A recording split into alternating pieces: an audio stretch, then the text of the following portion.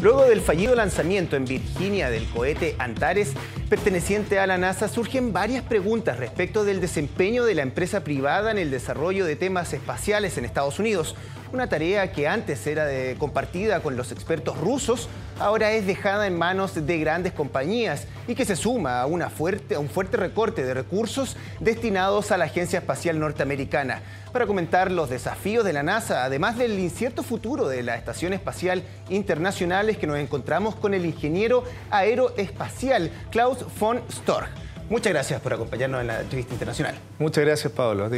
Entonces, eh, ¿cómo evalúas para empezar esta entrada de, la empresa privada en todo lo que tenga que ver con trabajos en el espacio en, Estados Unidos?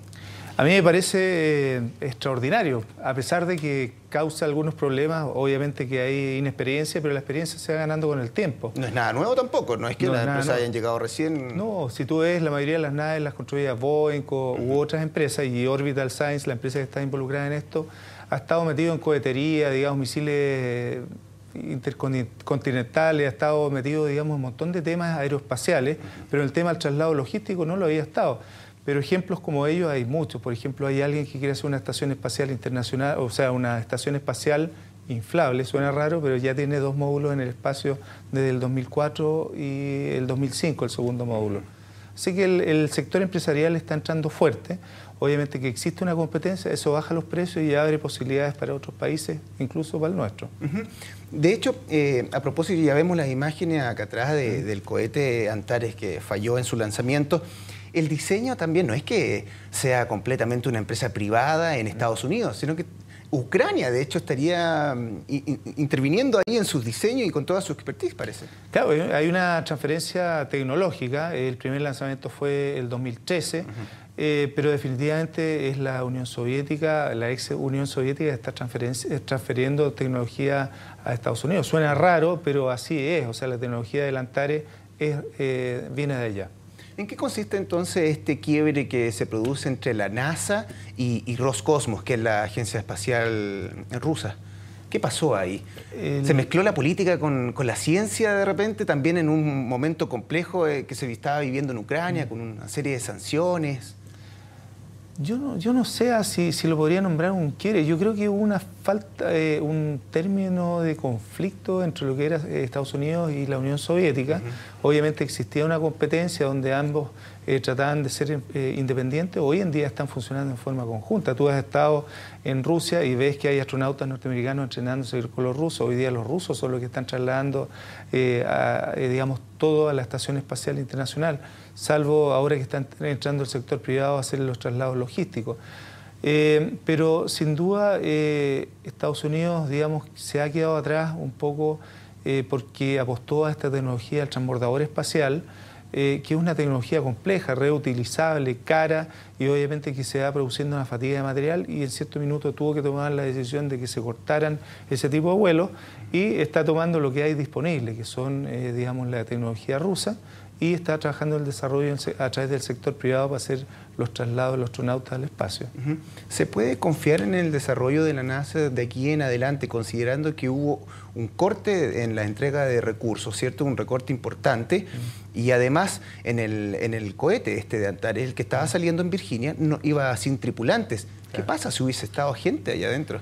¿Se puede confiar entonces ese trabajo que se está llevando a cabo? O sea, eh, no 100%, porque nunca hay certeza absoluta de que algo no va a fallar. Tú te fijas, lo, casi muchos lanzamientos se van atrasando. Tú has estado en Baikonur y se van produciendo, no tanto los rusos, ¿ah? los rusos independientes de lo que haya, haya temporal, eh, prácticamente se le da el cohete y sale, porque es, un misil es como un misil intercontinental, sencillo, simple. Eh, pero eh, los norteamericanos, después de los desastres que han ocurrido con los transbordadores espaciales, toman muchas medidas de seguridad con lo que son los vuelos tripulados, no así tanto con los vuelos que son logísticos. ¿ah? Eh, hoy día no es aceptable el que muera alguien en un traslado hacia la Estación Espacial Internacional, por lo tanto las medidas son, son relevantes. De todas formas, hay un trabajo entre, ambas, entre ambos países porque según entiendo se va a llevar a cabo una investigación que tiene un equipo de distintas nacionalidades para saber qué pasó aquí en, Virginia, ¿no? Claro, eh, se va a investigar, eh, se va a encontrar, yo, no creo que sea muy complicado encontrar el error, ¿ah? básicamente es un tema de suministro de, combustible, digamos, a la nocela de empuje. Eh, pero, pero finalmente, claro, hubo un error que por algún motivo no se pudo detectar a tiempo y eh, causó eh, perjuicios de grandes dimensiones, independiente de los seguros que haya de intermedio, o sea, también la base de lanzamiento sufrió grandes daños, el tema logístico, hay que ver cuál es el backup que tienen para hacer los traslados. Entonces, va a haber una investigación, va a determinar las causas y los responsables de esto. ¿Qué es lo que necesitan en la Estación Espacial Internacional los astronautas, como lo llaman de un lado, o cosmonautas por otro, eh, para estar allá? Porque ahora se mandaban, además de alimentos, decían, eh, muchos trabajos de avances de mm, experimentos científicos, habían hasta escuelas que estaban mandando cosas para allá. Y de todas formas dicen, no se preocupen de que nuestros astronautas en la estación eh, van a poder sobrevivir sin ningún problema porque tienen todo lo que necesitan. Entonces, ¿para qué mandamos más? ¿Que, eh, que tienen grande despensa en la Estación Espacial Internacional? No, bueno, siempre se prevé, digamos, que ocurran cosas. Por lo tanto, eh, cuando hay un envío logístico, comida, líquido, oxígeno, qué sé yo, significa que en el fondo están eh, también considerando que hay una falla. Por lo tanto, ellos tienen la, cantidad suficiente para sobrevivir una cantidad de tiempo que permite un nuevo lanzamiento. Por lo tanto, eso no, hay problema. Pero también en caso de que eso no fuese posible, de que no hubiese un traslado logístico posible y que tampoco haya una nave que vaya a buscarlo, existen eh, adosadas a la estación espacial unas naves de rescate por lo tanto, los astronautas como nautas podrían subirse y regresar a la Tierra sin problema. Las autoridades rusas ya han anunciado de que no tienen interés en, prolongar la vida, el trabajo que se está llevando a cabo en la Estación Espacial Internacional es más allá del 2020. Eh, la NASA, por otro lado, eh, estima de que sería bueno seguir adelante hasta el 2024. ¿Por qué no quiere seguir ¿Qué, estaría pasando ahí y qué se, qué se deja de hacer? ¿Qué se pierde al no estar en la Estación Espacial Internacional?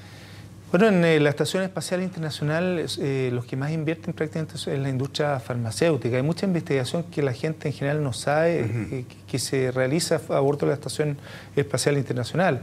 Obviamente que hay una perspectiva diferente eventualmente de los rusos o los norteamericanos. Cuando hicieron el consorcio, cada uno tiene que poner una cantidad de dinero para mantener la Estación Espacial eh, orbitando la Tierra. Eh, en una de esas el, budget o la cantidad de recursos que tienen que poner los rusos es bastante alto y para ellos no es rentable. Quizás los americanos sí tienen eh, suficiente clientela que está financiando lo que es la estadía. Pero, pero yo, yo creo que por el requerimiento de investigación que existe en una estación espacial internacional van a entrar nuevos actores.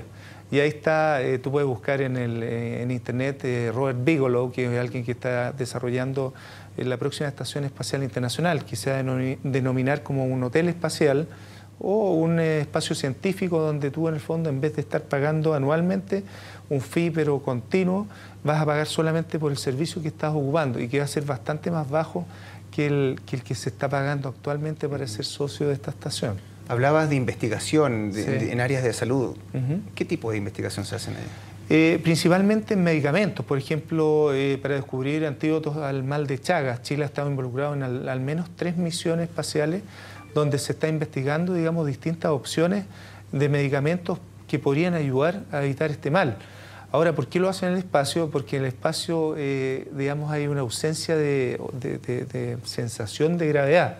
O sea, en el fondo igual hay gravedad, pero hay una caída libre constante. Pero este efecto, en el fondo, te, permite de que los, eh, desde el punto de vista teórico, eh, digamos, lo que, lo que se cumple desde el punto de vista teórico, sea cumpliendo también la realidad en la modelación de un eh, medicamento que se esté desarrollando. Es decir, se puede producir una solución mucho más rápida en el espacio que en tierra. Y por ejemplo, yo, digamos, no es un ejemplo eh, cierto, pero yo no sé cómo será el ébola. Eh, digamos, imagina que de repente un desarrollo pueda demorarse un año acá y si en la estación espacial, en el fondo, dadas las condiciones, eh, se demoren dos semanas, obviamente trae una ventaja significativa. Es la ilustración de Klaus von Storch, que nos explica un poco más de qué es lo que hacen los astronautas, como lo conocen en Estados Unidos, o cosmonauta, como le llaman en Rusia, en la Estación Espacial Internacional, y esta incursión de la empresa privada, que como decíamos no es nada nuevo, pero que ya empieza a presentar algunos problemas y nuevos desafíos quizás también para la Agencia Espacial Estadounidense. Muchas gracias, Klaus, por acompañarnos en, la entrevista. Gracias, Pablo, a ti. Entonces, los invitamos a seguir en nuestra sintonía. Aquí más noticias en CNN Chile.